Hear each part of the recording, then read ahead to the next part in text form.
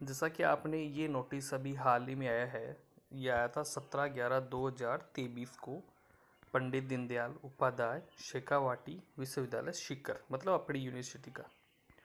इसमें परीक्षार्थियों हेतु आवश्यक सूचना दिया गया है और ये सेमेस्टर सिस्टम है दिसंबर तेईस में। इसके एग्ज़ाम लगने की आशंका है। चार पाँच दिन में इसके फॉर्म स्टार्ट होने वाले हैं। तो ये जो है वो प्रश्न पत्र पत्र का नमूना है। मतलब कि आपके एग्ज़ाम में किस टाइप्स के क्वेश्चन आते हैं, आएँगे सेमेस्टर सिस्टम में। तो उनके लिए है ये। तो आप इस चीज़ को समझिए। मुझसे आके पूछा जाता है बार बार कॉलेज में कि ये कागज़ हमें समझ में नहीं आया क्या होगा, क्या नहीं होगा। तो आपको मैं विशेष बता देता हूँ सभी को, जो इस साल प्रथम वर्ष में हैं।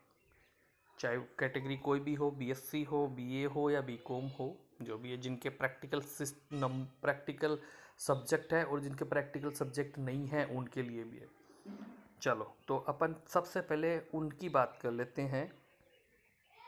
जिन स्टूडेंट्स के प्रैक्टिकल सब्जेक्ट हैं, जैसे physics chemistry zoology botany geography math geology, home science, economics, psychology और कंप्यूटर आदि, ड्राइंग, पेंटिंग, जिस सब्जेक्ट में प्रैक्टिकल है, उनकी पहले बात करने पर तो इसमें कहा गया है कि आपका प्रैक्टिकल विषय, प्रत्येक विषय 150 नंबर का होगा, ठीक है?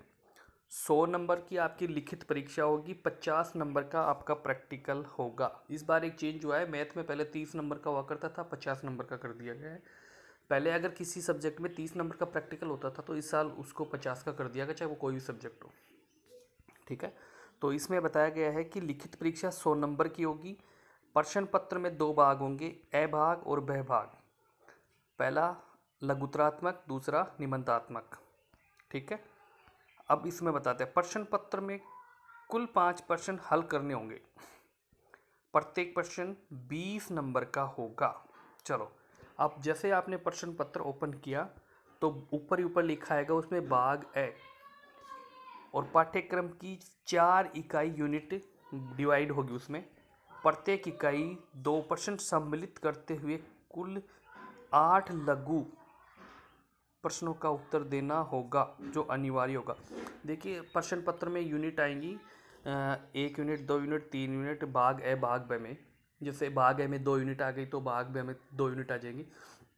तो इनमें से भाग ए की जो प्रथम यूनिट आएगी, जिनमें आप देखते हैं, one line, one liner question आते हैं, वो आपको कंपलसरी अनिवार्य होगा, वो तो पहला आपको करना होगा।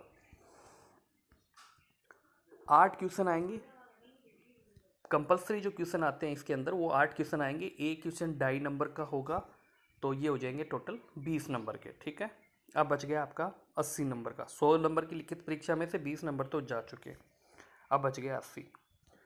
पाठ्यक्रम की भाग ब, पाठ्यक्रम की सभी चार यूनिट इकाइयों में से, प्रत्येक इकाई में से दो परसेंट सम्मिलित करते हुए कुल आठ परसेंट होंगे। प्रत्येक परीक्षार्थी को एक परसेंट हल करते हुए कुल चार परसेंट हल करने जो आप निबंधात्मक बोलते हैं, उसमें चार यूनिट आएँगी फिर।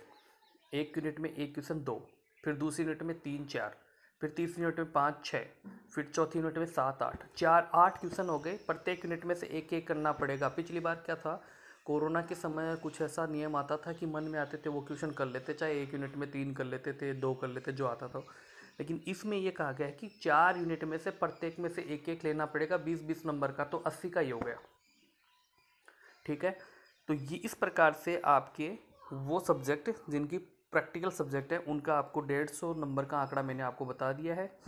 बीस नंबर के क्वेश्चन उसमें आएँगे लघुतरात्मक और अस्सी नंबर के आएँगे निमंत्रात्मक उसमें से यूनिट वाइज ठीक है?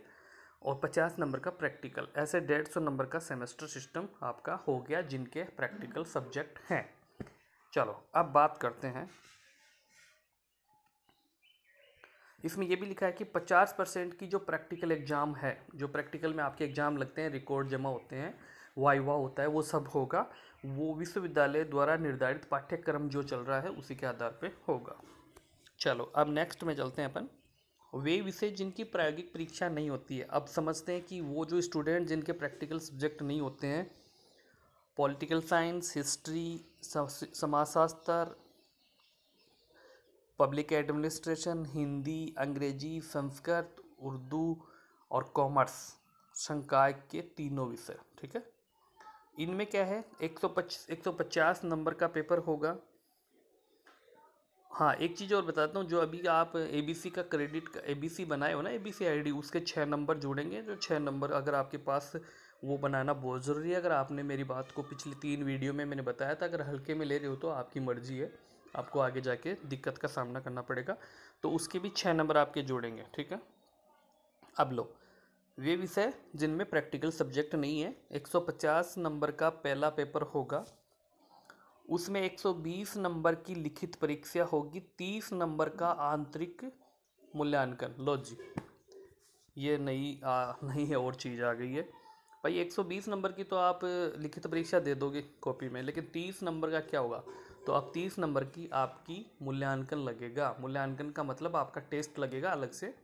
वो कॉलेज पे, सिलेबस के आधार पर डिपेंड है। या तो तीस नंबर का सिलेबस वो लगेगा मूल्यांकन, या फिर तीस नंबर के आपके असाइनमेंट बनेंगे। अब आप सोच रहे हो कि प्रैक्टिकल सब्जेक्ट में असाइनमेंट बनता है। नहीं, अब इन सब्जेक्टों में भी आपके असाइनमेंट बनेंगे। ध्यान रहे, तीस नंबर का आपका असाइनमेंट बनेगा। या फिर मूल्यांकन लगेगा, ये दोनों चीज़ें जो आपको बता दी जाएँगी जल्दी से जल्दी। लेकिन नाइन्टी नाइन परसेंट यही है कि आपका तीस नंबर का असाइनमेंट बनेगा सब्जेक्ट में पॉलिटिकल साइंस का भी असाइनमेंट बनेगा हिस्ट्री का भी बनेगा, हिंदी का, अंग्रेज़ी का इकोनॉमिक्स का, इसका क्या नाम उसका कॉमर्स का, ये जितने भी सब्जेक्ट मैंने पहले बताए थे ना, जिनके प्रैक्टिकल सब्जेक्ट नहीं है, ये। इतिहास, समाजशास्त्र लोक प्रकाशन हिंदी, संस्कृत, उर्दू, वाणिज्य, इन सब का बनेगा। लो जी 150 में से 30 नंबर का तो अपन ने आंतरिक पुल्य मूल्यांकन आपको बता दिया। अब बात करते हैं 120 नंबर के क्वेश्चन की। तो 120 में क्या आएगा? लिखित परीक्षा पत्र, प्रश्न पत्र में कुल तीन भाग होंगे। अति लघुतरात्मक लघुतरात्मक और निबंधात्मक, ठीक है? इसमें से प्रश्न पत्र के कुल छः प्रश्न हल करने होंगे, जिसमें बीस अंक का होगा। मतलब एक सौ बीस का बीस गुना छः एक सौ बीस। चलो, भाग ए की बात करते हैं। भाग ए, अति लघुतरात्मक, ठीक है? भाग ए में चार यूनिट्स होंगी। चार यूनिट में से कम से कम दो परसेंट सम्मिलित करते हुए दस अति लघुत प्रश्नों का एक प्रश्न होगा। मतलब एक, दस वन लाइनर क्वेश्चन होंगे। जो आपको करने ही पड़ेंगे, आप उनको नहीं छोड़ सकते। जो आपको करने पड़ेंगे, और ये कितने के हैं? बीस नंबर के। दो नंबर का एक क्वेश्चन होगा वन लाइनर वन लाइनर आएँगे, जैसे भारत की राजधानी, ये क्वेश्चन हो गया एक। और भारत के प्रधानमंत्री, भारत के राष्ट्रपति, ये ऐसे क्वेश्चन आएँगे दस।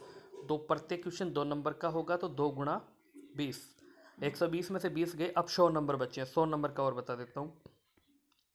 सौ नंबर का, बीस नंबर के क्वेश्चन हो गए, ये हो गए आपके लघुतरात्मक, अति लघुतरात्मक। अब आएँगे आपके लघुतरात्मक, ठीक है? अति लघुतरात्मक गया, फिर आते हैं आपके लघुतरात्मक। ये भाग बी में, इसमें भी चार यूनिट आएँगी और एक पर्सन को सम्मिलित करते हुए चार चार क्वेश्चन करने पड़ेंगे आपको। ऊपर वाले दस करने पड़ेंगे, फिर आप प्रत्येक यूनिट में से सेलेक्ट करते हुए चार क्वेश्चन ये लेना पड़ेंगे, जो पाँच नंबर का आएगा। तो ये हो गए पाँच के बीस, ठीक है जी? बीस ऊपर चले गए, बीस, ये गए चालीस, गए एक सौ बीस में बच गए कितने? अस्सी। तो अस्सी नंबर के क्वेश्चन अब भाग स में, तीन में आ जाएँगे। पाठ्यक्रम की सभी यूनिट इकाइयों में से दो पर्सन हल करते हुए कुल आठ पर्सन आएँगे प्रत्येक यूनिट में से। उनमें से चार पर्सन करना, लीजिए। तीसरा जो पैटर्न है, इसी में से उसमें चार यूनिट आएँगे, चार यूनिट में दो क्वेश्चन आएँगे, दो में से एक करना है। चार यूनिट गुणा दो। आठ हो गई। आठ क्वेश्चन में से चार करने हैं। अपनी मन मर्ज़ी से नहीं करने हैं। प्रत्येक यूनिट में एक एक करना है। इस प्रकार से आपको बीस चौके अस्सी। अस्सी नंबर का ये पैटर्न आपका हो गया है। इस प्रकार से आपका पेपर आएगा। मैंने आपको डिटेल से बता दिया है। फिर भी अगर किसी प्रकार की दिक्कत हो, वैसे तो इसमें दिक्कत होने की कोई बात नहीं है, लेकिन ये इसमें एक नई प्रॉब्लम आई है। प्रॉब्लम क्या है? आपको असाइनमेंट बनाने पड़ेंगे सब्जेक्ट वाइज अब ये जिनके प्रैक्टिकल सब्जेक्ट नहीं हैं, उनको असाइनमेंट बनाने पड़ेंगे। तो आप हो सके तो बना के रखिए सब्जेक्ट वाइज और फिर आपको कॉलेज में जमा कराने पड़ेंगे। जैसे आप जमा कराएँगे, उसमें आपको तीस नंबर में से नंबर दिए जाएँगे। अगर आप जमा नहीं कराते हैं तो आपको अपसेंट किया जाएगा। ऑनलाइन सिस्टम है, किसी प्रकार की कोई दिक्कत नहीं आनी चाहिए। बाकी अगर आपको अच्छा लगा वो वीडियो तो लाइक और शेयर ज़रूर करें। जय हिंद, जय भारत।